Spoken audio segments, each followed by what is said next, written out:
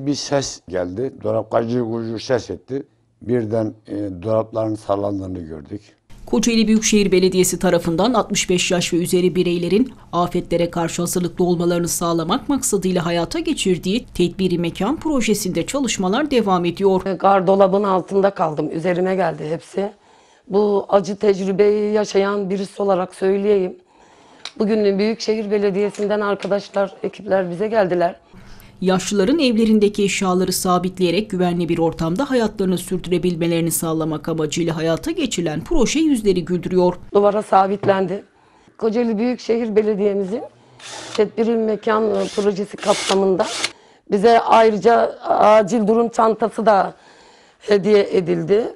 Tedbiri Mekan projesi kapsamında depremde meydana gelebilecek sorunlarla ilgili vitrin, ayakkabı dolabı, elbise dolaplarının duvara sabitlendiğini aktaran Yıldırım, Büyükşehir'e minnettarı sözlerine yer verdi. Oldum. Çok teşekkürler.